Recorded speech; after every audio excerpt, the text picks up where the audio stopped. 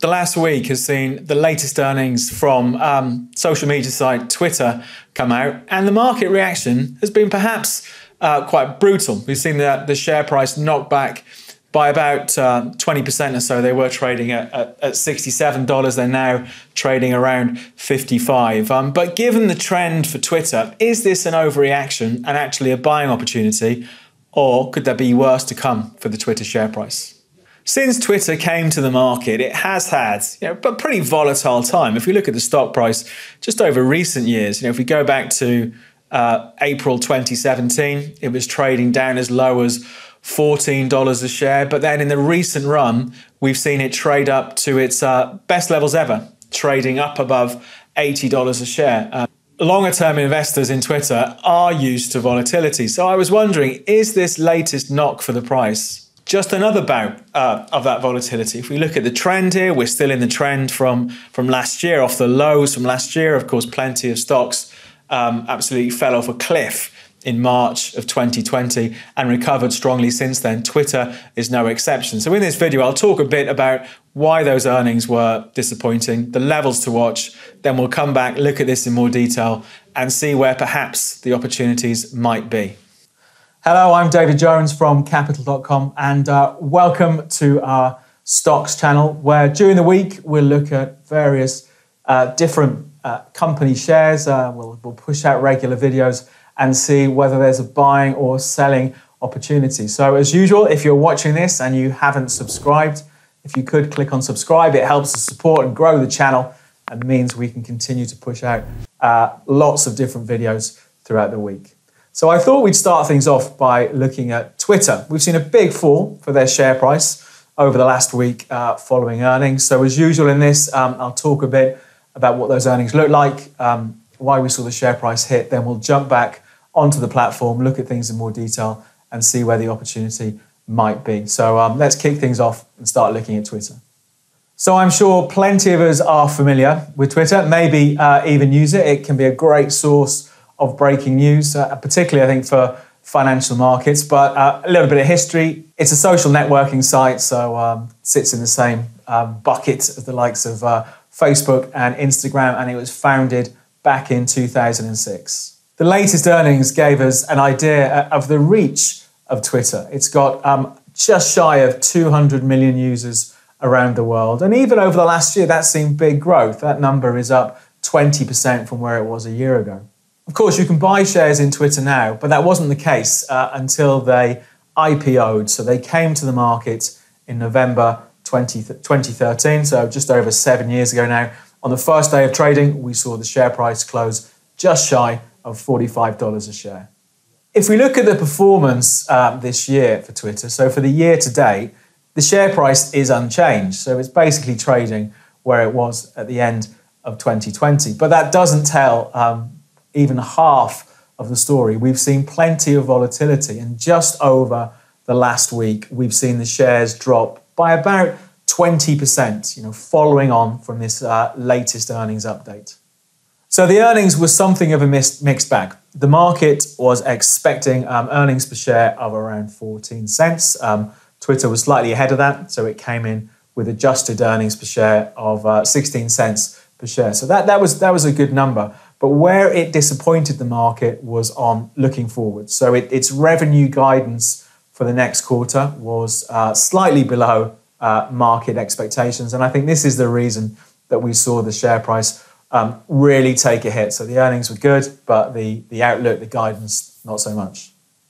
So we've seen this massive slide just, just from the all time high in February, uh, up about $80. The share price is trading 30% lower. So just in the space of a couple of months. But we've seen plenty of volatility for the Twitter share price over the years. So is this latest bout of volatility um, the sign of worse things to come, or actually uh, is it could it be a buying opportunity? We'll take a look at things in a bit more detail. But first of all, let's talk about the levels to watch.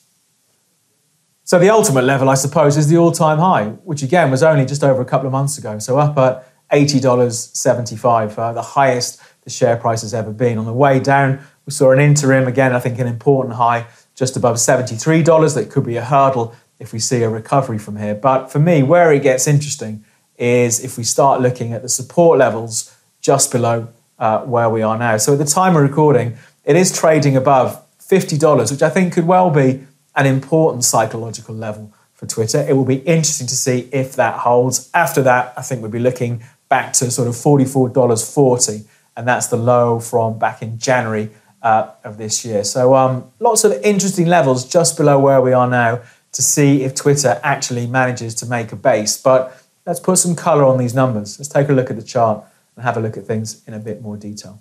So let's take a bit more of a, a technical look at the price uh, for Twitter. So we'll look at a couple of indicators and we'll take a look at the price action as well. Let's start things off. I've got a 20 day uh, moving average on here, and you can see clearly as the market's been moving higher, the moving average has been moving higher as well. Um, you know, classically, you, using moving averages, a move above the moving average is a buy signal, a move below it uh, is a sell signal. Given that the drastic move uh, in the last couple of weeks or the last week or so, know, we've got the price well below uh, that 20 day moving average. That's currently coming in around $65 a share. And at the time of recording, the, the shares are trading at 55 historically, or over the last 12 months or so, we haven't seen Twitter spend too long below its 20 day moving average. So perhaps that's one suggestion that, that the move we're in at the moment could well have been somewhat overextended. So I think that does give some hope to the bulls of Twitter that actually we're seeing something of an overreaction by the market. Let's see, let's take a look at some other things. I thought it would be useful to look at the RSI, so the relative strength index, um, a classic overbought, oversold signal, just to see, you know, some of the more recent signals uh, for Twitter. The last time, and actually the the only time prior to this where the RSI went oversold was right at the beginning of the year in January when we saw those lows uh, down just ahead of $44 a share. Share price runs up, uh, RSI goes overbought, as is often the case, goes overbought a bit too early. Eventually, the shares do roll over uh, around $80 a share. The last signal we had overbought, we go back to here in April. So again, I did a pretty good job when the share price was trading up around 72.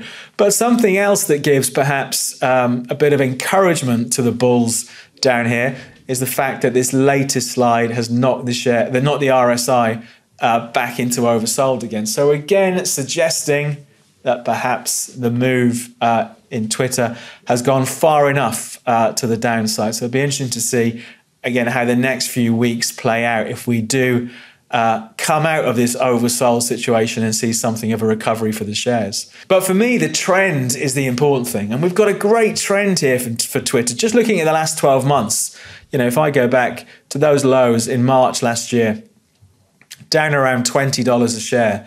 We've got this trend line that's do, doing a great job. Lots of touches on this trend line. And it's really since January of this year, those January lows that I mentioned down at 44.40. The price accelerated away from there, almost doubled, uh, ran up to 80 plus and has got knocked back. But what's really interesting is where this latest weakness has stopped. We're almost bang on the trend line.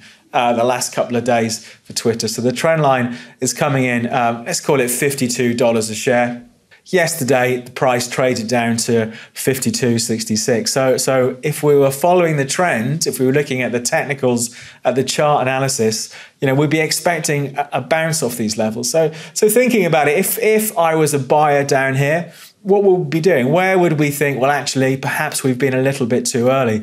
I suppose one place to put it is the other side uh, of that trend line, which is around as I say, 52 at the moment. $50, um, round numbers such as that can often be psychological support, but I would probably be tempted to go below the lows for the year. So the lows for the year coming in at $44.40. I think if we saw Twitter start to make uh, fresh lows for the year for its stock price, you know, it does look like this 12 month recovery recovery is well and truly over. And i think then we'd be targeting sort of stock price levels from the last quarter of uh, last year. So it is something of a, sort of bounce or bust territory uh, for twitter. Now it will be interesting to see how it performs uh, down at these levels. But from a trend following point of view we do still have an uptrend.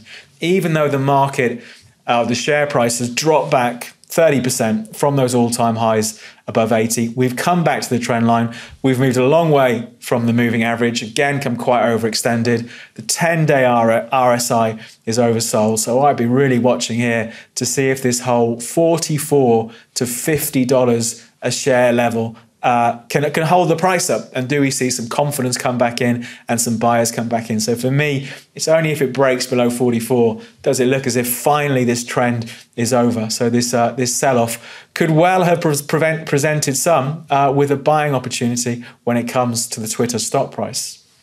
Just one quick one. If we took things back even further, I think we'd be pushed to say there was a trend off the 2017 lows. We probably could pick up on that, but that's quite a shallow trend it's been in. You can see, just looking historically, how much it has accelerated in recent years. And, and I think what also adds to the argument for perhaps a bounce down here is uh, what a problem sort of 45 to 55 has been over the past six years or so. You know, it's been a real area of resi- resistance, and we often see resistance areas um, flip to being support if we get a breakout and the price moves back to it. So I'll be watching this trend line and this whole 44 to 50 area to see if we get a bounce for Twitter over the next few weeks. So, will investors like Twitter at these levels, or is there um, even more weakness to come? Um, we'll, we'll find out. We'll keep an eye on it. We'll come back and take a look um, as things change. But for now, from me, David Jones, and Capital.com, we'll leave things there. Good luck with your investing and trading. For more trading videos just like this, please subscribe to our channel.